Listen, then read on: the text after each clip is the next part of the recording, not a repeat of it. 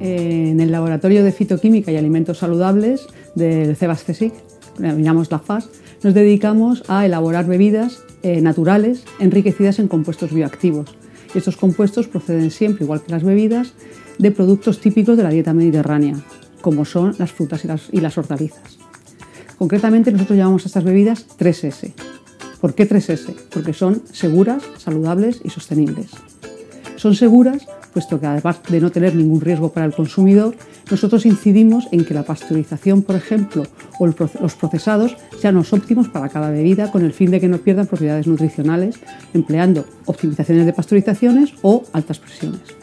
En segundo lugar, decimos que los alimentos son saludables, las bebidas son saludables, porque son enriquecidas en compuestos bioactivos que tienen actividad frente a determinadas enfermedades, como son, por ejemplo, ayudar a prevenir el cáncer, ciertas enfermedades cardiovasculares o metabólicas. Concretamente, nosotros nos especializamos en las enfermedades relacionadas con la obesidad, con la diabetes, con el síndrome metabólico, con la inflamación intestinal o con enfermedades que a nivel neurodegenerativo o neurológico, mejor dicho, como son epilepsia o dolor. Y por último, decimos que son sostenibles puesto que partimos de productos de desecho de la agricultura, como por ejemplo productos de destríos o de segundas calidades, con los cuales hacemos los zumos que son la base de las bebidas.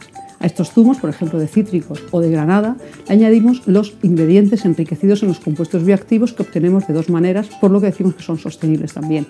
En primer lugar, lo que hacemos es elicitar o bioestimular a la planta para que produzca más compuestos bioactivos y con esto hacemos ingredientes. Y en segundo lugar, lo que hacemos es obtener subproductos de la industria agroalimentaria, revalorizándolos y utilizándolos posteriormente como ingredientes. Todo esto lo conseguimos fundamentalmente con dos herramientas que tenemos. Por un lado, tenemos unas buenas herramientas analíticas que nos permiten analizar los metabolitos tanto en el fruto, en la bebida o en el metabolismo interno, es decir, qué es lo que ocurre cuando los digerimos, como un gran equipo eh, humano que está al más alto nivel.